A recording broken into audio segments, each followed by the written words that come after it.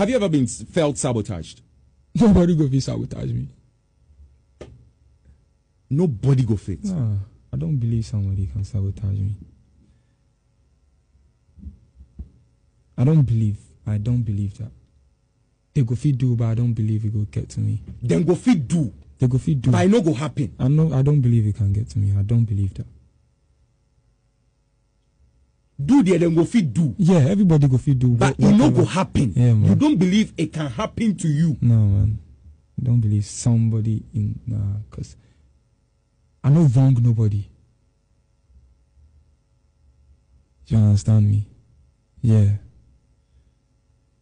I'm not wrong nobody. Is it to say you're perfect? I'm not perfect. I can never be. Fe- I can never be perfect.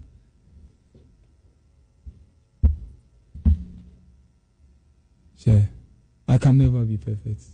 Ruben, you know this. I can't be hundred.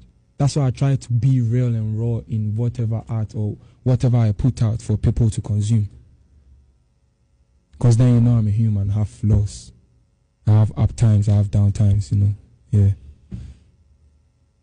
What would you say is your biggest achievement to date? My